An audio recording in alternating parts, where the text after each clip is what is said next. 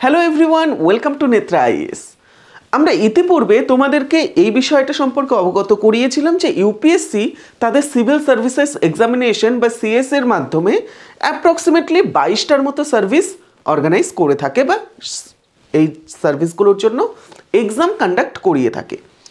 But এই যে সার্ভিসগুলো আছে, এর মধ্যে আমাদের আইএএস বা ইন্ডিয়ান অ্যাডমিনিস্ট্রেটিভ সার্ভিস হলো সেই সার্ভিস যেটার জন্য তোমাদের মধ্যে অর্ধেকের বেশি স্টুডেন্ট অ্যাসপায়ার করছ। এর পাশাপাশি আইপিএস এবং আইএফএস যে আছে, এই দুটো সার্ভিস নিয়েও তোমরা ভীষণভাবে আগ্রহী।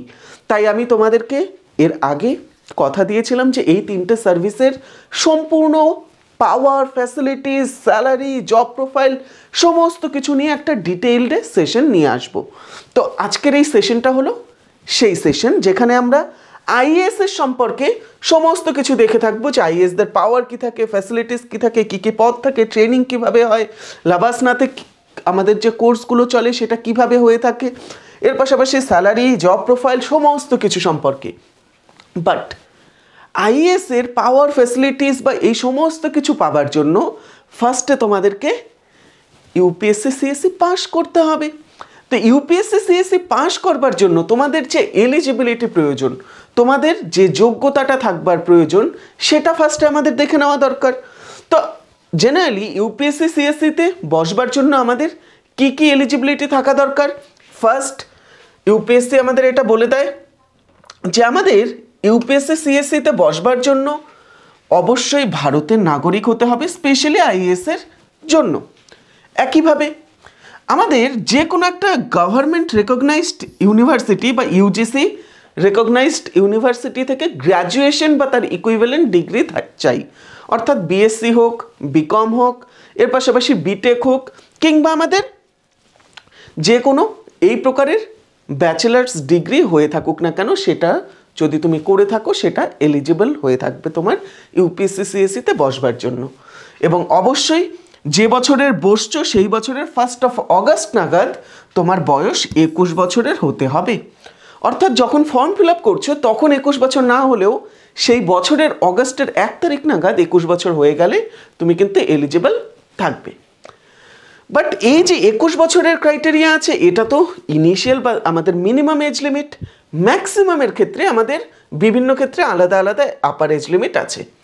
যেরকম জেনারেলদের ক্ষেত্রে বত্রিশ বছর পর্যন্ত বসা যায়। অপরদিকে ওবিসি ক্যান্ডিডেট হলে তিন বছর এক্সট্রা পঁয়ত্রিশ বছর। আমাদের এসসি বা এসটি কমিউনিটি থেকে থাকলে সাঁত্রিশ বছর। আমাদের যদি ডিসেবলড ডিফেন্স সার্ভিস পার্সোনাল হয়ে থাকে, যারা ডিফেন্স সার্ভিসের ক্ষেত্রে গিয়ে ডিসেবলড বা কোনো ক্ষেত্রে তাদের শারীরিক অস বলতে পারো, অক্ষমতা হয়েছে, তো সেই ক্ষেত্রে তারা thirty five years of age পর্যন্ত বসতে পারবে। এক্স সার্ভিসম্যান যদি হয়ে থাকে, তারা থার্টি সেভেন পর্যন্ত বসতে পারবে এবং যদি কোনো পার্সন তার বেঞ্চমার্ক ডিসেবিলিটি নিয়ে থেকে থাকে, তো সেই ক্ষেত্রে তারাও কিন্তু forty two years of age পর্যন্ত বসতে পারবে। বাট আমাদের নাম্বার অফ অ্যাটেম্পটস যে আছে যে কোনো একটা ক্যান্ডিডেট সাঁত্রিশ বছর পর্যন্ত বসতে পারবে বা জেনারেলরা বত্রিশ বছর পর্যন্ত বসতে পারবে, তার মানে এরকম নয় যে unlimited number of times WBCS এর মতো। সেটা কিন্তু ইউপিএসসিতে হয় না। ইউপিএসসিতে জেনারেলরা মাত্র ছবার এক্সামে বসতে পারে। অপরদিকে আমরা যদি লক্ষ্য করি ওবিসিদের জন্য নটা অ্যাটেম্প থাকে একইভাবে, আমাদের ডিসেবল ডিফেন্স পার্সোনালদের জন্যও নটা এক্স সার্ভিসম্যানদের জন্যও নটা এবং আমাদের পার্সন উইথ বেঞ্চমার্ক ডিসেবিলিটি যে আছে, তাদের জন্য নটা অ্যাটেম্প থেকে থাকে। কিন্তু এসসি এবং এসটি যে আমাদের কমিউনিটি থেকে যেই সকল অ্যাসপিরেন্টরা বিলং করে, তাদের কিন্তু একমাত্র আনলিমিটেড অ্যাটেম্প থাকে যতক্ষণ না তারা সেই এজ লিমিটে চলে যাচ্ছে বা এজ লিমিট যতক্ষণ না তারা পার করছে। ঠিক আছে? তো সেই ক্ষেত্রে এটা হচ্ছে আমাদের এজ লিমিট এবং নাম্বার অফ অ্যাটেম্পসের অ্যাটেম্পসের বিষয়। তো সেই ক্ষেত্রে আইএস হতে গেলে, এবার তোমায় যদি এই এলিজিবিলিটি এবং এই বয়সের ক্রাইটেরিয়ার মাঝে এসে থাকো, তোমায় ইউপিএসসি সিএসসি এক্সামে বসতে হবে এবং ইউপিএসসি সিএসসি এক্সাম প্যাটার্ন যদি দেখো, সেই ক্ষেত্রে তোমার স্টেজ ওয়ানে প্রিলিমস এক্সাম হয়ে থাকে স্টেজ টুতে মেন্স এক্সাম হয়ে থাকে, যেটা কিনা তোমাকে সাবজেক্টিভভাবে অর্থাৎ অ্যান্সার ডেসক্রিপটিভভাবে লিখতে হবে, দশ নম্বরের, পনেরো নম্বরের, ঠিক আছে? বাট প্রিলিমস যে আছে, সেটা এমসিকিউ বা অবজেক্টিভ টাইপ হবে। এবং মেন্স এবং তারপরে ইন্টারভিউ বা পার্সোনালিটি টেস্ট যে আছে, সেই দুটোর নাম্বারের ওপর ভিত্তি করে একসাথে তোমার মেরিট লিস্ট কিন্তু হয়ে থাকবে, যেটার ভিত্তিতে তুমি চয়ন বা তোমার চয়ন হবে। তো এবার, এই যে এক্সাম আছে, আপাতত ইউপিএসসি তাদের দু হাজার চব্বিশের ক্যালেন্ডার জানিয়ে দিয়েছে দু হাজার পঁচিশেরটাও প্রায় এর কাছাকাছিই থাকবে বা মাসগুলো সেমই হতে পারে।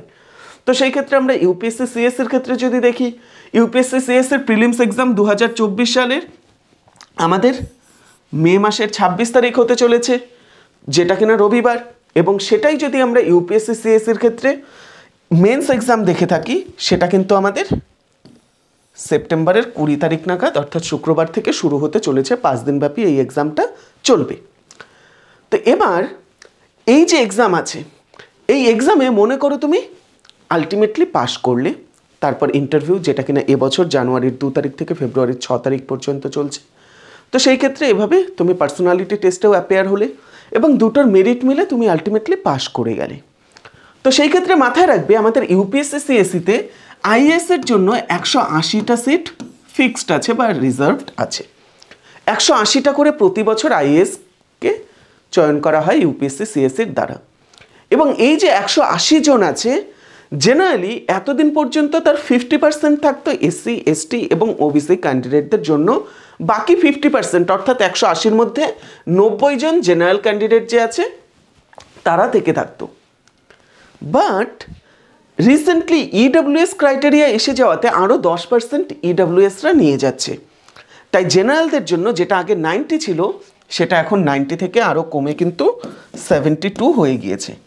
তাই মাথায় রাখবে, তুমি যদি জেনারেল ক্যান্ডিডেট হয়ে থাকো, যে কিনা ইউ ইডব্লিউএস এর সার্টিফিকেট এখনও বানাওনি বা তার জন্য এলিজিবল নও, সেই ক্ষেত্রে তোমরা কিন্তু মাথায় রাখবে, তোমাদের র্যাঙ্ক পঁচাত্তরের আশেপাশে রাখতে হবে।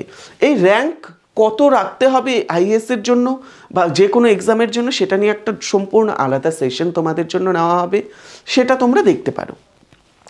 বাট এভাবে মনে করো তুমি র্যাঙ্ক পঁচাত্তরের কাছাকাছি নিয়ে এলে এবং তুমি জেনারেল ক্যান্ডিডেট তুমি আইএস পেয়ে যাবে।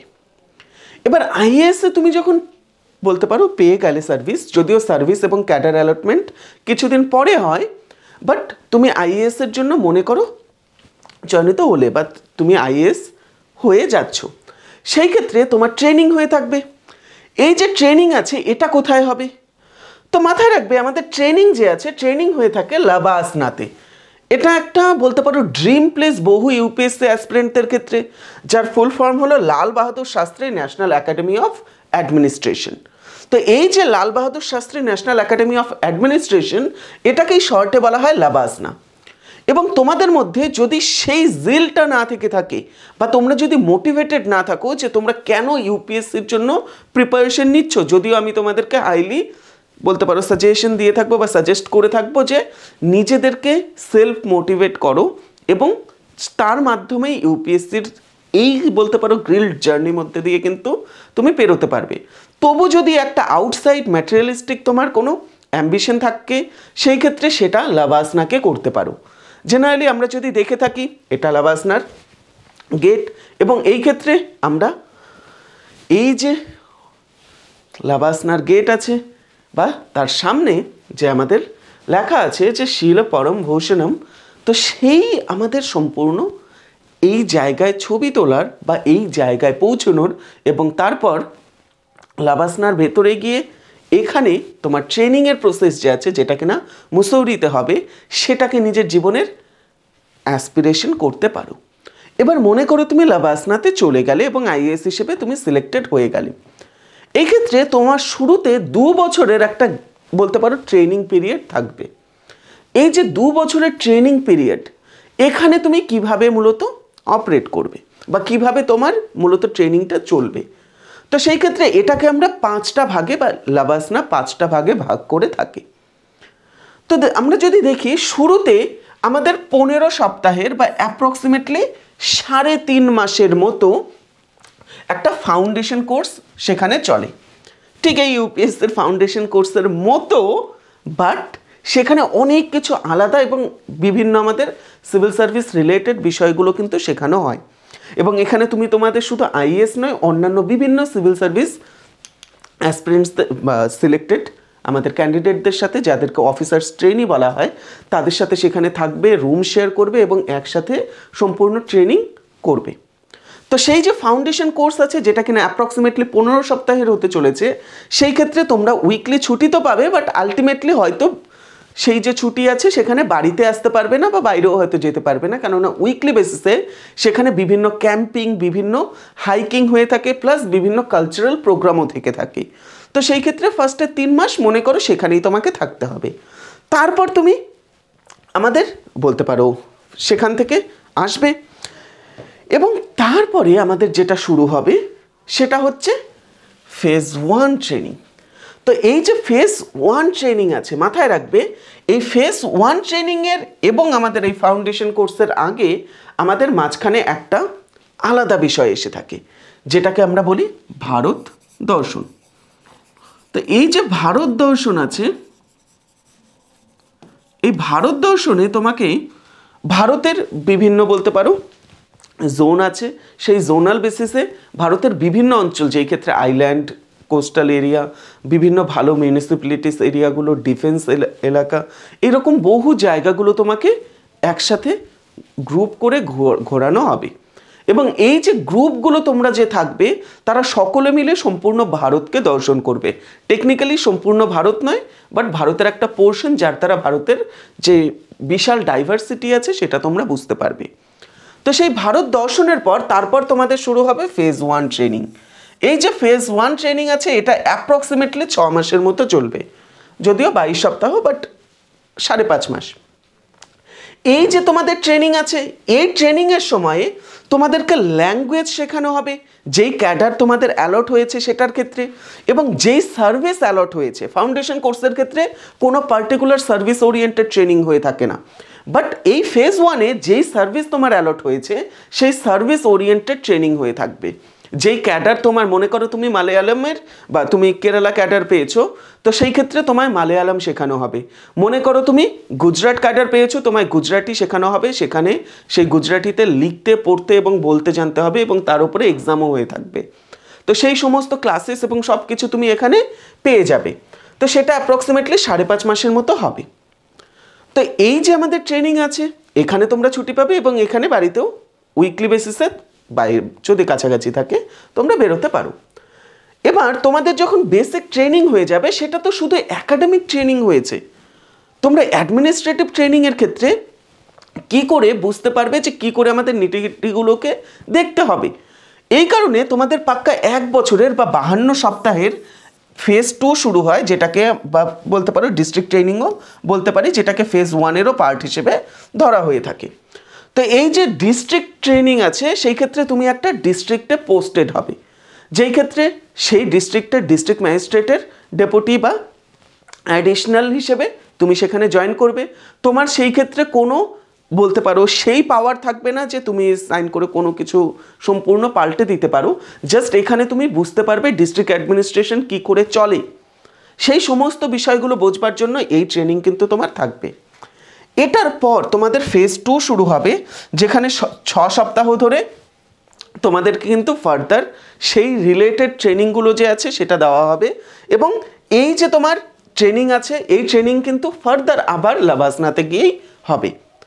বাট এই সময়ে তুমি সিনিয়র অফিসার্স ট্রেনি হিসেবে যাবে সেখানে এবং এই ক্ষেত্রে তোমার শেয়ার্ড রুম এবং আরও শেয়ার্ড রুম তোমাকে থাকতে হবে না, তোমার জন্য পার্সোনাল রুম থাকবে। এরকম অনেকগুলো এক্সট্রা বেনিফিট পাবে যেটা কিনা শুরুতে ফাউন্ডেশন কোর্সের সময় তুমি পাওনি। এরপর এরপর তোমায় অ্যাসিস্ট্যান্ট সেক্রেটারিশিপ হিসেবে এক মাসের জন্য কিন্তু আমাদের সাউথ ব্লকে পোস্ট হতে হবে। তো সাউথ ব্লকে তুমি এক মাস ধরে অ্যাসিস্ট্যান্ট সেক্রেটারিশিপ হিসেবে তুমি অ্যাসিস্ট্যান্ট সেক্রেটারি হিসেবে কাজ করবে এবং তুমি বুঝবে শুরুতে ডিস্ট্রিক্ট ট্রেনিংয়ে তুমি ডিস্ট্রিক্ট অ্যাডমিনিস্ট্রেশন কি করে চলে বা আমাদের লোয়ার ডিভিশনাল অ্যাডমিনিস্ট্রেশন কি করে চলে সেগুলো বুঝতে পারবে। বাট পলিসি মেকিংয়ের ক্ষেত্রে কি করে চলে? আমাদের সেক্রেটারি, জয়েন্ট সেক্রেটারি এর পাশাপাশি আমাদের পরবর্তীতে ডেপুটি সেক্রেটারি বা বিভিন্ন সেক্রেটারির যে হায়ারার্কি আছে, সেই ক্ষেত্রে সেই প্রত্যেকটা সেক্রেটারির কাজ কি? আমাদের সেই সেক্রেটারিয়েটে কীভাবে কাজ হয়ে থাকে? সেই বিষয়গুলো বোঝবার জন্য তোমাদের কিন্তু অ্যাসিস্ট্যান্ট সেক্রেটারিশিপ সেই ক্ষেত্রে পেয়ে থাকবে এবং সেখানে হবার মাধ্যমে এই দু বছরের ট্রেনিং তোমাদের কমপ্লিট হবে এবং তারপর তোমরা এসডিএম হিসেবে যে কোনো বা তার ইকুইভ্যালেন্ট যে কোনো পোস্ট হিসেবে যে কোনো ক্যাডার যেটা তোমরা সিলেক্ট বা তোমার, তোমরা যেটাতে সিলেক্টেড হয়েছো সেটাতে পোস্টেড হবে। তো জেনারেলি আমরা যদি দেখে থাকি, আমাদের শুরুতে যখন কোনো একজন ব্যক্তি আছে যে কিনা সিলেক্টেড হয়, তখন সে এসডিএম বা সাব ডিভিশনাল ম্যাজিস্ট্রেট হিসেবে সিলেক্টেড হয়। তারপর সে পোস্ট বলতে পারো প্রমোশনের মাধ্যমে এডিএম বা আমাদের অ্যাডিশনাল ডিস্ট্রিক্ট ম্যাজিস্ট্রেট হিসেবে সেখানে যায় এবং তারপর ডিস্ট্রিক্ট ম্যাজিস্ট্রেট হিসেবে সে প্রমোটেড হয়। এবং ডিস্ট্রিক্ট ম্যাজিস্ট্রেট হিসেবে আমরা যে ডিএম আছি, এটা হচ্ছে ডিস্ট্রিক্টের সর্বসর্বা হিসেবে যাবে। এবার এই কয়েকটা ডিস্ট্রিক্টের সর্বসর্বা নিয়ে জয়েন্ট কমিশনার হিসেবে কিন্তু তুমি আলটিমেটলি পোস্টেড থাকতে পারো। মাথায় রাখবে, এই জয়েন্ট কমিশনার হিসেবে তুমি যখন পোস্টেড থাকবে, সেই সময়টাতে তোমাকে কিন্তু সেন্ট্রাল ডেপুটেশনও পাঠানো হতে পারে। কেননা বর্তমানে আমাদের সেন্ট্রাল গভর্নমেন্টের যে রুলস আছে, তো সেই হিসেবে আমরা যদি দেখে থাকি, যদি এই সময়টাতে তুমি সেন্ট্রাল ডেপুটেশনে দু বছরের জন্য না গিয়ে থাকো, তাহলে কিন্তু পরবর্তীতে তুমি সেন্ট্রাল ডেপুটেশনে এই পরের যে পোস্টগুলো আছে, এগুলোর কোনোটাতেই যেতে পারবে না। তো সেই ক্ষেত্রে সেন্ট্রালে পরবর্তীতে পোস্টেড হতে হলে তোমাকে এই জয়েন্ট কমিশনার বা কমিশনার লেভেলের পোস্টে থাকাকালীন ডেপুটেশনে যেতে হবে। এবং জাস্ট ভাবো, যেখানে ডিএম যে আছে, ডিএম একটা জেলা যে আছে, জেলার এক তরফে বলতে গেলে সর্বসর্বা। এভাবে অনেকগুলো জেলার সর্বসর্বা থাকাকালীন তোমাকে সেন্ট্রালে পোস্টেড থাকতে হচ্ছে, যেখানে তোমার কাছে পাওয়ার কিন্তু এর হিসেবে প্রায় কিছুই থাকছে না। এই কারণে অনেকে যেতে অনিচ্ছুক থাকে। বাট বর্তমানে এটা কম্পালসারি করে দেওয়াতে এখন কিন্তু অনেকে যাবে এবং সেই ক্ষেত্রে সেখানে গিয়ে আন্ডার সেক্রেটারি বা ডেপুটি সেক্রেটারির সেই প্রকারের বিভিন্ন পদগুলোতে কিন্তু তারা গিয়ে সেখানে কাজ করতে পারবে। এটার পর আমরা যদি দেখি, আমাদের কিন্তু ডাইরেক্টলি সেক্রেটারিয়েট শুরু হয়। এবং সেক্রেটারি পদের ক্ষেত্রে যদি আমরা যাই, সেই ক্ষেত্রে আমরা দেখব এই যে কমিশনার পদ আছে, এই কমিশনার পদ থেকে তুমি যদি সেন্ট্রাল ডেপুটেশনে যাও জেনারেলি ডাইরেক্টর পদে গিয়ে থাকো। এবং তুমি যদি জয়েন্ট কমিশনার পদ থেকে যাও, সেই ক্ষেত্রে আন্ডার সেক্রেটারি বা ডেপুটি সেক্রেটারি হিসেবেই মেইনলি যাওয়া হয়ে থাকে। আন্ডার সেক্রেটারি যে আছে, সেটা শুরুতে এক বছর, এক মাসের যে ট্রেনিং হয়, সেখানেই মেইনলি ওই পোস্টটাতে নেওয়া হয়। বাট এই যে আমাদের ডাইরেক্টর পদ আছে, যেখানে তুমি এই কমিশনার পদ থাকাকালীন সেন্ট্রালে যেতে পারো বা আমাদের স্টেট যে আছে স্টেটের ক্ষেত্রে সেটা স্পেশাল সেক্রেটারি এইচওডি বা হেড অফ দ্য ডিপার্টমেন্ট হিসেবেও তুমি সেখানে যেতে পারো। তো সেটাতে যাবার পর, তারপর তুমি ফার্দার আবার কিন্তু নিজের যে স্টেট আছে, সেখানে ফিরে আসতে পারো এবং সেখানে ফিরে এসে তুমি কিন্তু সেখানে জয়েন্ট সেক্রেটারি জয়েন্ট সেক্রেটারির পর অ্যাডিশনাল সেক্রেটারি এবং তারপর সেক্রেটারি হিসেবে জয়েন হতে পারো। তো মাথায় রাখবে আমাদের joint secretary additional secretary chief secretary এভাবে অনেকগুলো আমাদের কিন্তু পোস্ট আসবে। যদিও চিফ সেক্রেটারিতে আমি আপাতত আসছি না জেনারেলি মাথায় রাখবে যে কোনো একটা মন্ত্রণালয় যে আছে। আমাদের অনেকগুলো মন্ত্রণালয় আছে, আমরা শুনে থাকি স্বাস্থ্য মন্ত্রণালয় আমাদের স্বরাষ্ট্রমন্ত্রী স্বরাষ্ট্র মন্ত্রণালয় এর পাশাপাশি আমাদের শিক্ষার ক্ষেত্রে সেই মন্ত্রণালয় তো আমাদের প্রত্যেকটা মন্ত্রী যে আছে, তাদের সেক্রেটারি থেকে থাকে সেই মন্ত্রণালয়ের এই সেক্রেটারির আন্ডারে সম্পূর্ণ সেক্রেটারিয়েট থেকে থাকে, যারা কিনা কাজ করে। তো সেক্রেটারি পদ হচ্ছে একটা ড্রিম জব যেখানে অ্যাপ্রক্সিমেটলি থার্টি বছরের বা তিরিশ বছরের এক্সপিরিয়েন্স প্রয়োজন হয়। তো তুমি যে কোনো স্টেটের বা সেন্ট্রালের ক্ষেত্রে সেক্রেটারি পদে নিযুক্ত হয়েছো মানে তুমি একটা ভীষণ বড় পদ অর্জন করেছ। বাট এই যে সেক্রেটারির পদগুলো আছে এই সেক্রেটারি পদগুলো বাদেও আরও কিছু খুব বলতে পারো বড় বড় পদ আছে।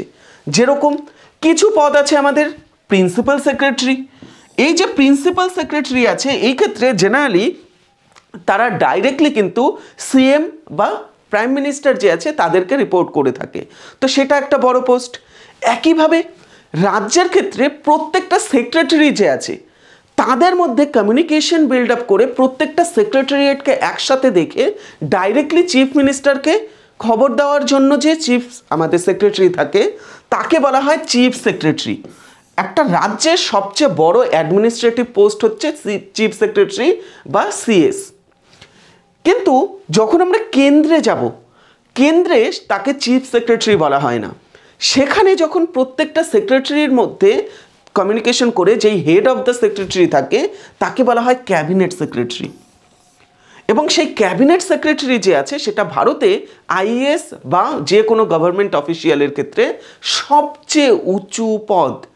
এর থেকে উঁচু পদে জেনারেলি যাওয়া যায় না আইএস এর মাধ্যমে। ইনফ্যাক্ট এর থেকে উঁচু কোনো পদ নেই ভারতে। তো সেই ক্ষেত্রে এই পদে যেতে গেলে তোমায় অ্যাপ্রক্সিমেটলি তেত্রিশ বছরের এক্সপিরিয়েন্স থাকতে হবে। বাট পদে যাবার পরে তুমি কি করবে? জাস্ট দুদিন কাজ করে কি রিটায়ার হয়ে যাবে না? এক দু বছর তো তোমায় থাকতে হবে। আমাদের বর্তমানে যে চি ক্যাবিনেট সেক্রেটারি আছে, রাজীব গওয়া স্যার তিনি দুহাজার উনিশ থেকে আছেন। তো সেই ক্ষেত্রে আমরা যদি দেখি, এই সকল পদগুলোতে আমাদের সবচেয়ে বেটার হয়ে থাকে যদি তুমি গিয়ে দু তিন বছর সার্ভ করতে পারো। এবং তুমি গিয়ে যদি দু তিন বছর সার্ভ করতে চাও, তেত্রিশ বছরের এক্সপিরিয়েন্স প্লাস দু বছর তুমি সার্ভ করবে। পঁয়ত্রিশ বছর তোমার সার্ভিস চাই। এবং এই পঁয়ত্রিশ বছরের সার্ভিসে তুমি ষাট বছরে যদি রিটায়ার করো সিক্সটিতে তোমায় পঁচিশ বছরের মধ্যে সার্ভিসে ইন্ডাক্ট হতে হবে। তাহলে তোমায় প্রিপারেশন কিন্তু কলেজে থাকাকালীন শুরু করা প্রয়োজন বা যত তাড়াতাড়ি সম্ভব তুমি কিন্তু ইউপিএসসির প্রিপারেশনটা শুরু করো, সেটা কিন্তু সবচেয়ে বেটার হয়ে থাকবে। আনলেস তুমি অন্য সেক্রেটারিদেরকে সুপারসিড করছ। ঠিক আছে, যেটা কিনা পশ্চিমবঙ্গেও রিসেন্টলি হয়েছে, এর আগে বিভিন্ন জায়গায় হয়েছে। তো এর থেকে আমরা কি বুঝতে পারলাম? কেন্দ্রে সবচেয়ে বড় পদ যে আছে, সেটা হচ্ছে ক্যাবিনেট সেক্রেটারি এবং এই ক্যাবিনেট সেক্রেটারির মতো পদ স্টেটে কোনো পদই নেই। বাট সেন্ট্রালে যে সেক্রেটারির পদগুলো আছে, সেটা সমান পদ হচ্ছে রাজ্যের ক্ষেত্রে চিফ সেক্রেটারি তো এবার আমরা যদি লক্ষ্য করি, আমাদের স্যালারি কীরকম হবে? তো মাথায় রাখবে ক্যাবিনেট সেক্রেটারি পদে তুমি যখন যাবে, তোমার বেসিক পে যে আছে, সেটাই হবে অ্যাপ্রক্সিমেটলি দু লক্ষ একান্ন হাজার টাকা। এর পাশাপাশি অন্যান্য বিভিন্ন যে অ্যামিনিটিসগুলো আছে, বিভিন্ন যে পরিষেবাগুলো আছে সেগুলো তো থাকছেই প্লাস ডিএ এবং অন্যান্য বিভিন্ন বস্তুগুলো। তো সেই ক্ষেত্রে সেগুলো আমি এখানে কাউন্টই করছি না। তো আমরা যদি লক্ষ্য করি, আমাদের এসডিএম হিসেবে, অর্থাৎ আইএস হিসেবে তুমি জাস্ট যখন জয়েন করবে তখন তোমার approximately fifty six thousand one হান্ড্রেডের মতো স্যালারি থাকবে। এবং যখন তুমি ডিএম পদে যাবে, তোমার ডিএ এবং অন্যান্য বিভিন্ন কিছু মিলিয়ে তোমার কিন্তু স্যালারি অ্যাপ্রক্সিমেটলি নাইনটি থাউজেন্ডের কাছাকাছি হবে। এবং তুমি যদি কয়েক বছর বেশি এক্সপিরিয়েন্স নিয়ে বারো বছরের সার্ভিসের পরে ডি ডিএম হয়ে থাকো, সেই ক্ষেত্রে সেটা নিশ্চিতভাবে এক লক্ষ পার হয়ে যাবে তোমার স্যালারি তো সেই ক্ষেত্রে এভাবে আমাদের স্যালারি কিন্তু মোটেও কোনো একটা ইস্যু নয়। তো তুমি একটা খুবই ভালো লাইফস্টাইল লিড করবে যদি তুমি আইএস হিসেবে সিলেক্টেড হয়ে যাও। বাট তবু আমরা যদি দেখে থাকি, আমাদের এই ক্ষেত্রে শুরুতে আমাদের যে স্যালারি আছে, সেটা approximately fifty six six thousand one হান্ড্রেডের মতো হয়।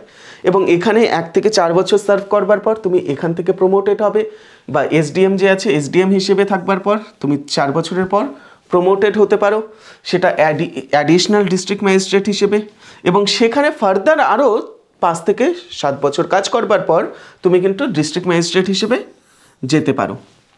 যদিও জেনারেলি আমাদের ডিস্ট্রিক্ট ম্যাজিস্ট্রেট যে আছে ডিস্ট্রিক্ট ম্যাজিস্ট্রেটের জন্য অনেক সময় সাত থেকে ন বছরের সার্ভিস যে আছে, সেটাও কিন্তু পর্যাপ্ত হয়ে থাকে। বাট আমার দেখা এরকম বহু অ্যাসপ্রেন্ট আছে অ্যাসপ্রেন্ট নয় সরি সিলেক্টেড ক্যান্ডিডেট আছে, যারা কিনা বর্তমানে প্রায় বারো, তেরো বছর হয়ে গেল সার্ভিসে আছে বাট এখনও পর্যন্ত ডিএম হয়নি। তো সেই ক্ষেত্রে জাস্ট তুমি এখানে সিলেক্টেড হচ্ছে, এর মানে তুমি ডিএম হবে, এর কোনো মানে নেই।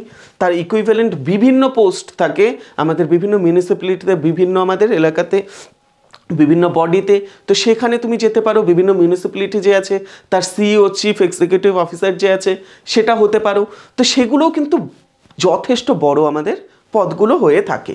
বাট আমাদের জেনারেলি ডিস্ট্রিক্ট ম্যাজিস্ট্রেটের জন্য ন থেকে বারো বছরের এক্সপিরিয়েন্স আমাদের প্রয়োজন হয় এবং তুমি অ্যাটলিস্ট ষোলো থেকে সতেরো বছরের নিজের যে সার্ভিস আছে, সেই পর্যন্ত ডিস্ট্রিক্ট ম্যাজিস্ট্রেট কমিশনার বা আমাদের জয়েন্ট কমিশনারের যে পদগুলো আছে, এগুলোতেই ঘোরাফেরা করবে এবং মিনিমাম সতেরো বছরের সার্ভিসের পর তুমি সেক্রেটারিয়েটে গিয়ে থাকবে এবং তারপরে যেটা জয়েন্ট সেক্রেটারি এবং এর পাশাপাশি পরবর্তীতে বিভিন্ন যে সেক্রেটারিয়েটগুলো আছে, সেগুলোতে তুমি গিয়ে থাকবে।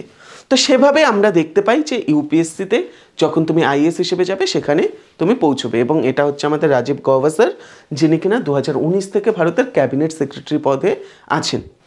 বাট এই যে আইএএস এর পদ আছে, এখানে তুমি সিলেক্টেড হবার পর তোমার কাজ কি? কি করতে হবে তোমায়?